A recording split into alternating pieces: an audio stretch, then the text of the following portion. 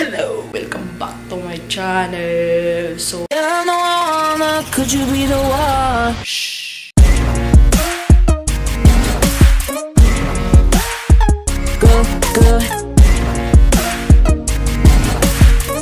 Good, good. Could you be the one? Kapag hindi ka pa nakapag-subscribe, subscribe mo na click na po patitilo ng notification bell. Gigutom na ko.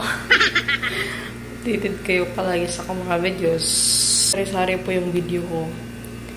Marong tutorial, may seryoso, may kabaliwan, pero walang halong panluloko. Wow! Sino man luloko? So, ayun. Ganito. Gutom na gutom na talaga ako. Dalawang araw na ako walang kain, no? Kapi lang. Ewan ko ba, walang stock, walang grocery. Hindi ko din alam. Pero sanay na din ako dito eh. Kasi ganito talaga yun. Nag-grocery lang sila kapag walang wala na talagang laman yung bahay niya. So, shout out sa'yo. Diyan ka lang muna ha. So, ayun, maghahanap tayo ng pagkain kasi gutom na, gutom na, gutom na yung bituka ko. Bituka, butiki, ano din. Ay, walang laman ang ref. So, ano naman yung kakainin ko? Walang tinapay. May tinapay. Ito lang. Ano ba yan? Kalahati.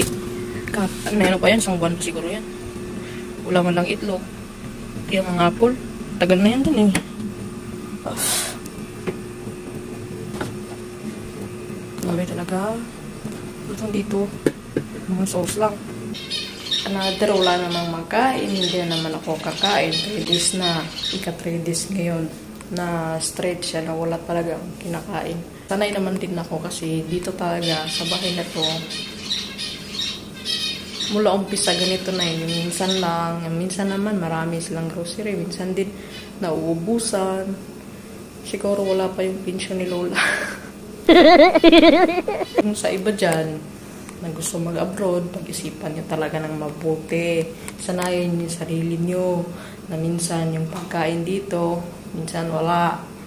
Sorte mo na lang sa amo mo na medyo galante sa pagkain, ganun. So, anyway, gutom na gutom na talaga ako. Dahil walang pagkain, magkakape na lang. Update later.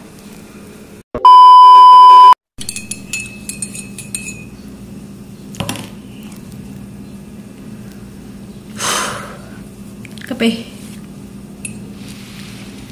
Para mag matapang ka na harapin yung bukas dito. Grabe, gutom na gutom talaga ako. Kainin ko na lang kaya yung amo ko. Sila na lang kaya yung kainin ko, grabe.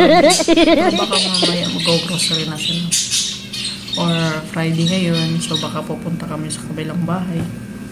Kasi sa ibang bahay, nakakakain, ano na, nakakakain ako sa ibang, may ibang katulong. Pinapakain nila ako. So, sana nga, papunta kami dun. Maya-maya, pag wala pa rin pagkain, kakain lang ako ng sweets tapos yung tubig. Sweets na ganito. oh. Alam niyo yan. Dates. Tapos inom tubig.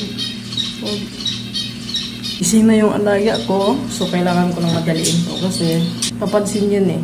Pag marami akong ginagawa, may iyak-iyak. Kasi gusto niya, inaano siya, ganyan. Gusto niya attention sa kanya lang. Kaya, so, ayun. Sinishare ko lang sa mga iba na gusto mag-abroad na hindi na hindi porket abroad ka is okay yung kalagayan namin dito na na masarap yung kinakain namin araw-araw. Diba? Yung sa Pinas din dapat para alam nila na na yung mga abroad dito ganito yung sitwasyon. Abroad lang naman, pangalan lang naman yung maganda eh, pero minsan yung mga kalagayan din namin, walang mga lagay. Yun lang. Tatapusin ko na itong vlog na to kasi yung alaga God bless.